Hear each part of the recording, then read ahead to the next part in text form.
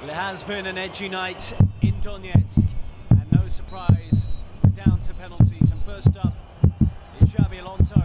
Oh, and turned away by Rui Patricio. Saved by the Portugal goalkeeper. Fielder makes no mistake with his kick. Now can Iker Casillas bail out his Real Madrid Spain into the final again to ever defend this trophy.